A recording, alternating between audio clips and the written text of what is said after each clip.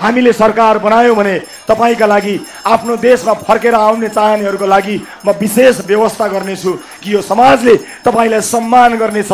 मलाई जस्तो तपाईँलाई रुवाउने छैनन् म तपाईँलाई ग्यारेन्टी गर्न चाहन्छु।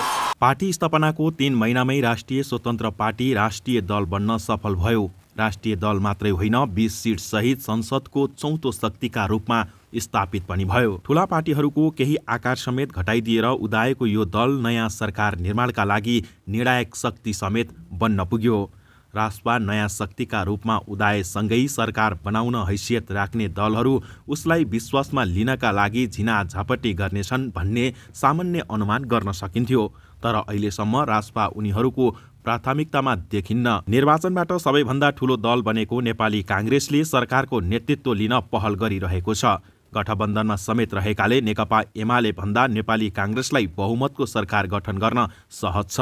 यस्तो अवस्थामा एमाले पर्ख र हेरको अवस्थामा मात्रै छ भने नेपाली काङ्ग्रेसले नै नयाँ सरकार गठनका लागि संवाद तीव्र पारेको छ। सरकार गठनका लागि थोरै सिट अपुग हुने भएकाले काङ्ग्रेसले रासपा भन्दा नयाँ दलका रूपमा आएका जनमत पार्टी र नागरिक उन्मुक्ति पार्टीका नेताहरूसँग औपचारिक रूपले संवाद बढाएको छ।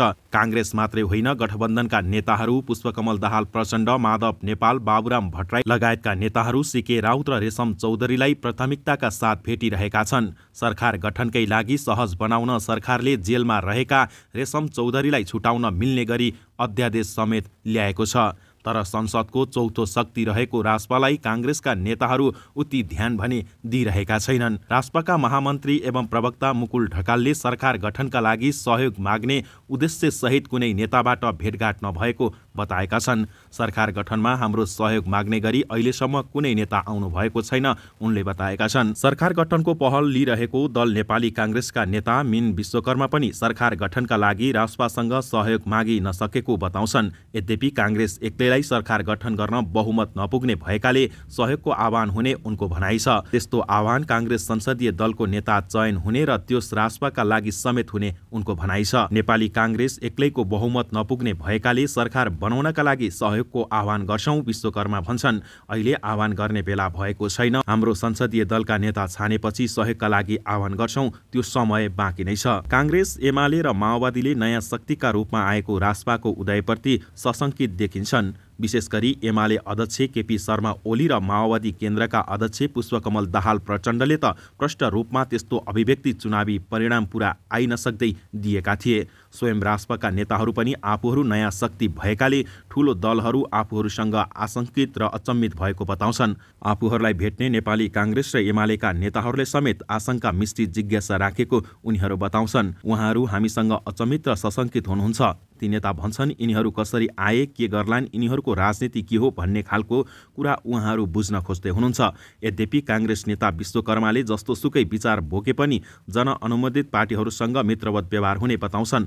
फरक फरक विचार बोकेर आएका जुनसुकै दल भए पनि ती दलसँग हाम्रो मित्रवत सम्बन्ध हुन्छ उनको भनाइ छ। एमाले उपमहासचिव प्रदीप ग्यावालीले भने राजपाबारे प्रष्टता हुनै बाँकी रहेको बताउँछन्। राष्ट्रिय स्वतन्त्र पार्टी समाजमा रहेका असन्तुष्टि र गुनासोको जगमा उभिएको देखिन्छ उनी भन्छन् अगाडिका बाटोमा क्लियर छैन। राष्ट्रियता अर्थतन्त्र लगायतका धेरै कुरामा प्रष्ट छैन। एउटै पार्टीका फरक फरक कुराहरू आइरहेका छन्। कोही सेन्टर टु लेफ्ट र कोही सेन्टर टु राइट भनिरहनु भएको छ। यो पार्टीले आगामी राजनीति कसरी तय गर्छ भन्ने हेर्नुपर्छ। राजपा महामन्त्री एवं प्रवक्ता ढकाल पनि राजनीतिक दलहरूसँग बल्ल चिनापर्ची सुरु भएको र आफ्नो बारे उनीहरूलाई बताइरहेको बताउँछन्। राजनीतिक दलहरूसँग बल्ल चिनापर्ची भइरहेको छ उनी भन्छन् त्यसमा हामीले उहाँहरूलाई भनेका छौँ। तपाईँहरूले राजनीतिलाई अहिलेसम्म जसरी बुझिराख्नु भएको छ वा गरिरहनु भएको छ त्योभन्दा हामी फरक हो। हामी फरक तरिकाले राजनीति गर्न चाहन्छौ। उनले भनेका छन्। सरकारमा जान राजपाको शर्त यस्तो छ। राजपाका सभापति रवि लामिछाने र अरू नेताहरूले आफूहरू सरकारमा जान तयार रहेको बताएका छन्। सरकारमा जाने या नजाने बारे राजपाको केन्द्रीय समितिमा औपचारिक छलफल भइ नसकेको भए पनि आफ्ना एजेन्डा कार्यान्वयन हुने अवस्था भए सरकारमा जान सकिने नेताहरूको भनाइ छ। प्रवक्ता ढकाल आफूहरूका एजेन्डा कार्यान्वयन हुने बलियो प्रतिबद्धता भए सरकारमा जान तयार रहेको बताउँछन्। एजेन्डा पूरा गर्नलाई सरकारमा जानुपर्छ भने जानु पनि पर्ला होइन जानु नपर्ने रहेछ भने प्रतिपक्षमै बसौँला उनी भन्छन्। समर्थन मात्रै गर्नुपर्ने रहेछ भने समर्थन समर्थन मात्रै गरौँला तर हामीलाई हाम्रो एजेन्डा कार्यान्वयन हुने कुराको बलियो प्रतिबद्धता चाहिन्छ। सरकारमा जाने अवस्था आए कुन मन्त्रालय पाउने या नपाउने भन्ने भन्दा पनि आफ्ना नीति कार्यान्वयन हुनुपर्ने आफूहरूको शर्त हुने ढकालको भनाइ छ। मन्त्री परिषदले एक सय निर्णय गर्ला त्यसमा हाम्रो निर्णय दसवटा गरिदिनु पर्ला उनको भनाइ छ। प्रतिनिधि सभाले ऐन पास गर्दा त्यहाँ पाँचवटा ऐन हाम्रो पनि हुनु पर्यो उनको भनाइ छ। सबका कानमा घन्टी त मैले हिजै बजाएको हुँ। अब चुनाव चिन्ह त घन्टी हो तर बज्नेवाला चाहिँ ब्यान्ड छ सबैको ब्यान्ड बज्नेवाला छ। यो म यहाँ भन्न सक्छु। मलाई पटक पटक म हुनुको प्रमाण मागिन्छ। मलाई पटक पटक प्रश्नहरूको घेराभित्रमा राखिन्छ। मलाई पटक पटक शङ्काका तीरहरू रोपिन्छ। मैले नेपाली नागरिकको सेवा गर्नको निमित्त आफ्नो जीवन समर्पण गरेको मान्छे हुँ। यो देशका युवाहरू आज कतिखेर विदेश जाने होला भनेर विदेशी दूतावासहरूमा लाइन लागेर बसेका छन्। नगण्य मान्छेहरू होलान् जो सुविधा सम्पन्न विदेशको जिन्दगी छोडेर आफ्नो देशमा फर्किएर आएका छन्। त्यसमध्ये म पर्दछु जस्तो लाग्छ। सायद मैले बिराएछु होला। आँखाबाट आँसु झारिरहेका बामाहरूको आँसु पुछेर मैले बिराएछु होला। विभेदमा परेकी चेलीका लागि न्यायको लागि आवाज उठाउँदा बिराएछु कि? दुर्गममा अस्पताल बनाउँदा बिराएँ कि? मैले भित्री मधेसमा बाढीले बगाएको बस्ती बनाउँदा बिगारेँ। मैले के बिगारेँ? मैले आजसम्म पत्ता लगाउन सकेको छैन। मैले के खाइदिएँ? मैले आजसम्म पत्ता लगाउन सकेको छैन। अब त एउटै कुरा मात्र बाँकी छ। अब मलाई म जिउँदो छु भन्ने कुराको पनि प्रमाण माग्नेछन्। मलाई थाहा छ। अनि म जिउँदो छु भनेर म कुनै वडामा सिफारिस माग्नका लागि दस्तुर बुझाएको हुनेछु। मलाई त जिउँदो छस् पनि प्रमाणित गर भनेर भन्ने छन्। अब मसँग केही पनि बाँकी छैन। हो। अब मसँग आफ्ना लागि भन्नुपर्ने अरू केही पनि बाँकी छैन। म विवादसँग डराउने मान्छे होइन। मलाई त देशै निकाल्न खोजेका मान्छेहरू पनि थिए। तर आज तिनीहरू कहाँ छन् मलाई थाहा छैन। म हरेक नागरिकको घरमा हरेक दुःखसँगमा पुगेको छु पुग्छु र पुगिरहन्छु। कसैसँग परवाह नगरिकन। मैले केही पनि मागेको छैन। व्यक्तिगत जीवनमा मैले पाएको चिज यो देशमा म प्रधानमन्त्री राष्ट्रपति हुँदाखेरि पनि मैले छोडेर त्यागेर लत्याएर आए जति पाउन सक्दिनँ। त्यति चिज छोडेर म निस्किएको मान्छे हुँ। मैले कसम खाएको छु। मेरो राजनीतिक जीवनभरि म नेपालमा बनेका लुगा मात्रै लगाउँछु। यसको अर्थ यही देशमा कल कारखाना खोल्न सकिन्छ स्वावलम्बी आत्मनिर्भर बन्न सकिन्छ भन्ने हो। मैले अर्को पनि कसम खाएको छु। नेता भनेको सेवक हो नेता भनेको मालिक होइन। आज यही सरकारी अस्पतालमा तपाईँ उपचार गर्न जाँदाखेरि तपाईँले कुन हालत भोग्नुपर्छ? मैले चाहने हो भने मेरो मेहनत र दुःखले आफ्नै पसिना बगाएर कसैको एउटा ल्वाङ पनि नखाइकन आफ्नो जीवन सुन्दर बनाउन सक्ने क्षमता राखेँ मैले आफ्नै मेहनतले। मैले चाहेको खण्डमा म यो देशका कुनै पनि अस्पतालमा आफ्नो व्यक्तिगत उपचार एसी रुमभित्र गर्न सक्छु होला तर मलाई त्यो चाहिँदैन। तपाईँको उपचार जहाँ हुन्छ मेरो उपचार त्यही हुन्छ। म सरकारी बाहेक अर्को अस्पतालमा जान्न।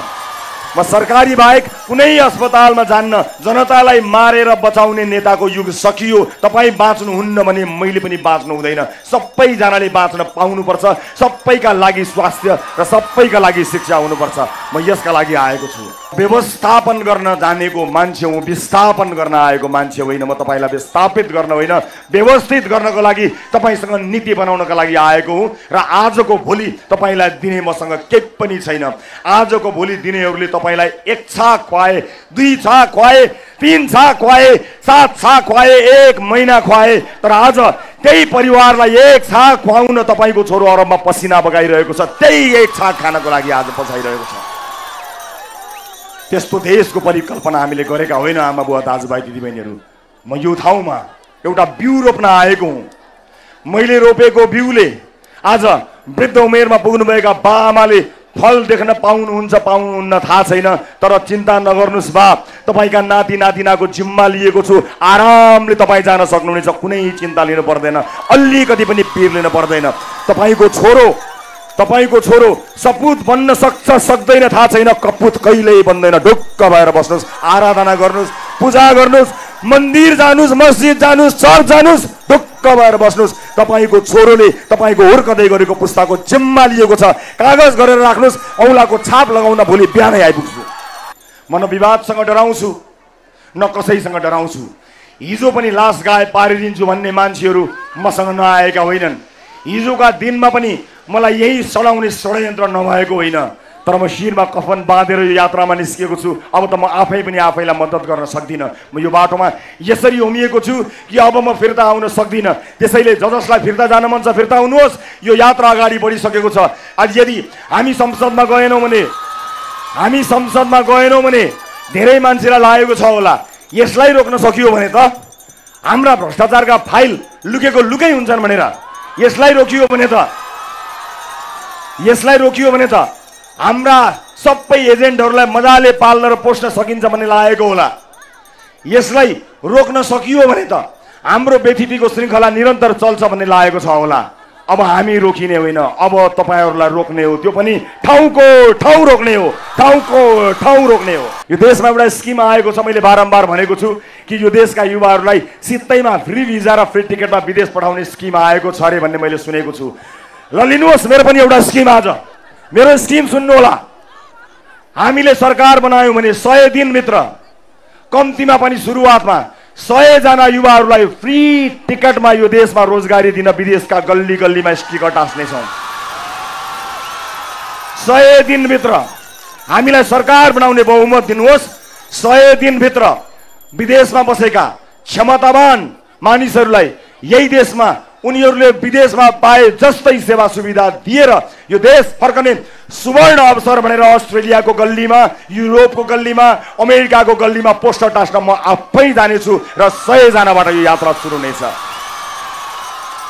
बिस्तारै यो सय बढ्दै गएर हजार हुनेछ दस हजार हुनेछ लाख हुनेछ दस लाख बिस लाख तिस लाख हुनेछ र यही देशमा युवाहरूले रोजगारी पाउनेछन्। हामी त्यसका लागि काम गर्न सक्छौँ हामी सक्षम छौँ।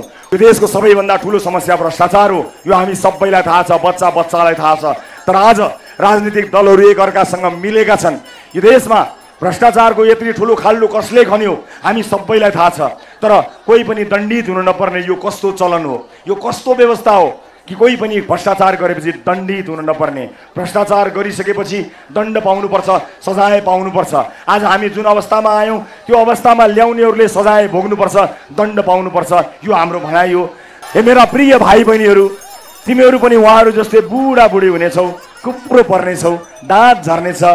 अहिले भएका गालाहरू चाउरी पर्नेछन् मुजा पर्नेछन् निधारहरू। अनि त्यतिखेर तिम्रा छोरा नातिले चाहिँ तिमीलाई सोध्नेछन् हजुरबा हजुरआमा हाम्रो देश कहिलेबाट यति राम्रो भएको? त्यतिखेर तिमीहरूले भन्नेछौ।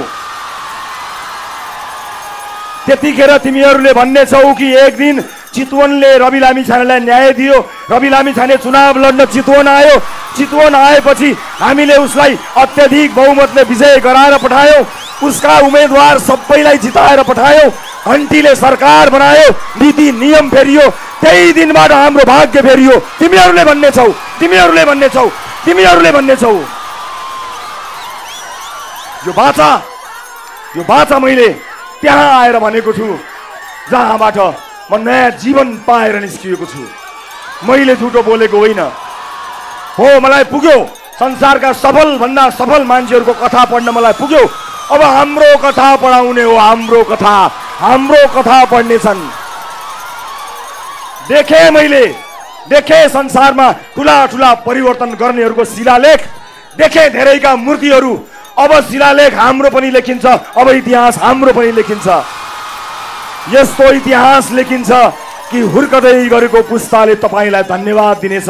बुवा कमसे कम मर्ने बेलामा एउटा राम्रो पार्टी र राम्रा मान्छेहरूलाई जिताएर पठाउनु भयो। तपाईँहरूलाई धेरै धन्यवाद भनेर तपाईँलाई चलाउने पिण्डमा उहाँहरूको मुस्कान पनि मिसिनेछ।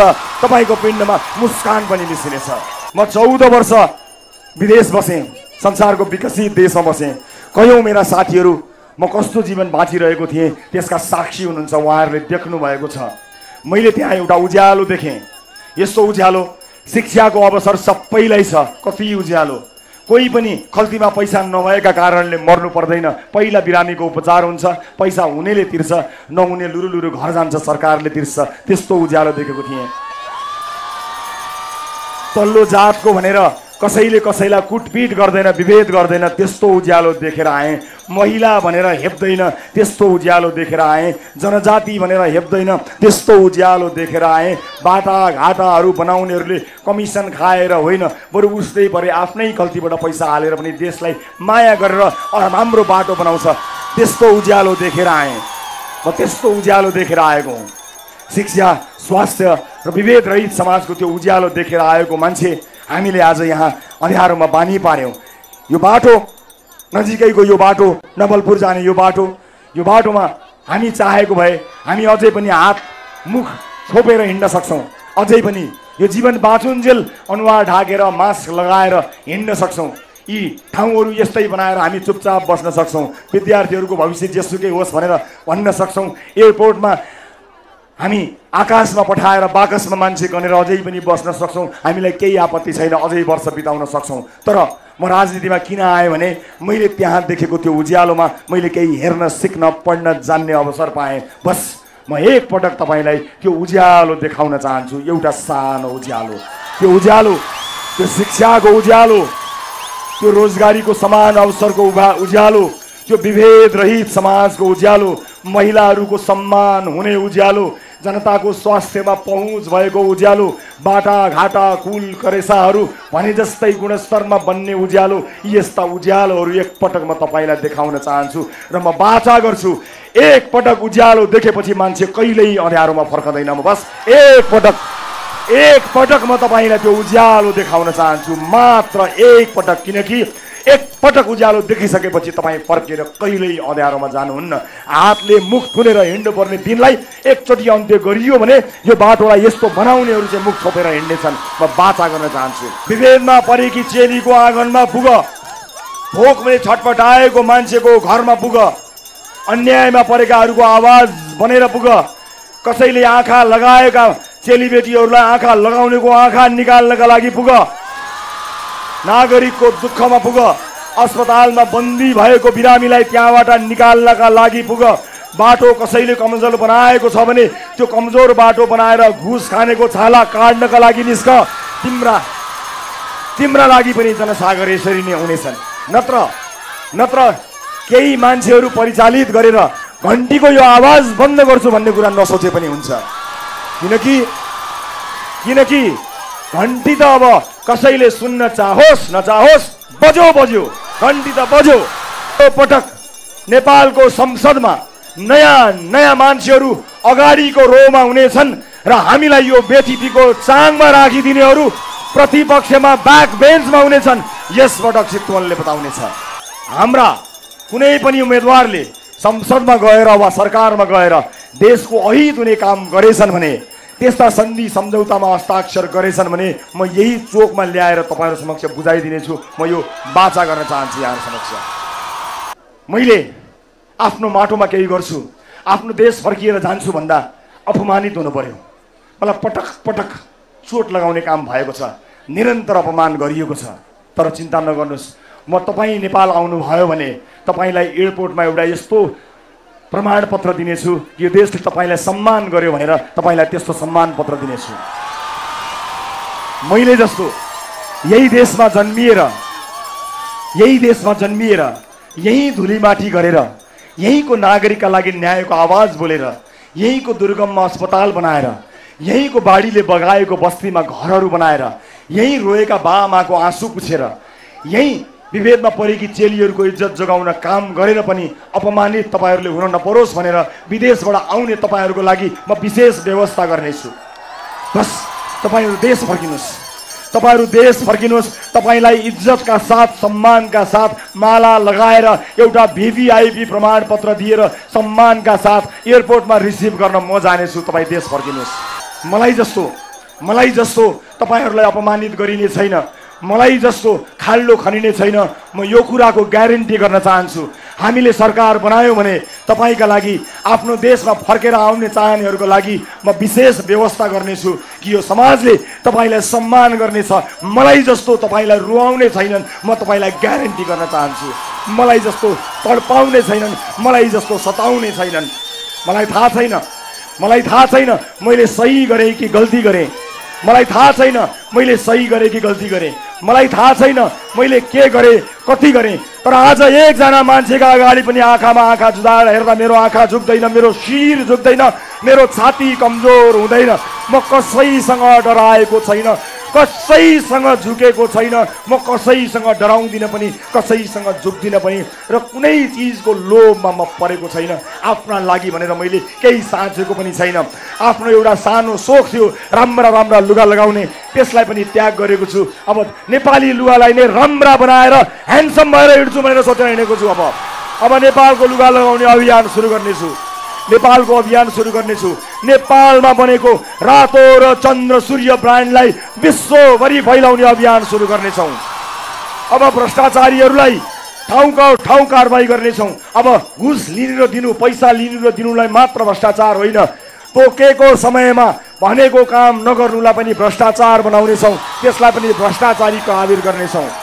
र मेरा सुरक्षाकर्मी साथीहरूप्रति मेरो विशेष सम्मान छ। प्रिय आदरणीय मेरा सुरक्षाकर्मी साथीहरू तथा विभिन्न निजामती कर्मचारी साथीहरू मलाई थाहा छ तपाईँहरूको बाध्यता। चप्पल मात्र पड्काएर आएकाहरूले महल बनाएको तपाईँले आँखा अगाडि देख्नु भएको छ। मलाई थाहा छ कर्मचारी साथीहरू र प्रहरी सेनाका साथीहरू म तपाईँको पीडा बुझ्दछु हाम्रो सरकार हुने बित्तिकै हामी तपाईँ र तपाईँको परिवारको स्वास्थ्य र गुणस्तरीय शिक्षाको ग्यारेन्टी दिन्छौँ तपाईँको सामाजिक सुरक्षाको ग्यारेन्टी दिन्छौँ। र तपाईँले र अर्को कुरा पनि बताउन चाहन्छु। कर्मचारी साथीहरू तपाईँको जीवन निर्वाह गर्न सक्ने व्यवस्था हामी गर्नेछौँ। तपाईँले तपाईँले अब आफ्नो जीवन निर्वाह गर्न कुनै पनि कुनै पनि भ्रष्टको मुख ताक्नुपर्ने छैन। अब तपाईँले आफ्नो जीवन निर्वाह गर्नका लागि कुनै पनि भ्रष्टको मुख ताक्नुपर्ने छैन। र अब सुरक्षाकर्मी साथीहरूलाई एउटा कुरा भन्न चाहन्छु। प्रिय सुरक्षाकर्मी साथीहरू तपाईँहरूले अब चाँडै नै कुनै भ्रष्टलाई सलाम ठोक्नुपर्ने छैन म तपाईँहरूलाई यो ग्यारेन्टी गराउन चाहन्छु।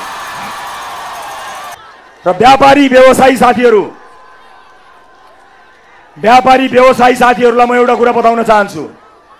साथीहरू आज पनि तपाईँ आफ्नो व्यापार व्यवसाय आफ्नो फ्याक्ट्रीमा भन्दा पनि बढी बाध्य भएर कुनै नेताको घरमा देखिनुपर्ने बाध्यता छ तपाईँलाई।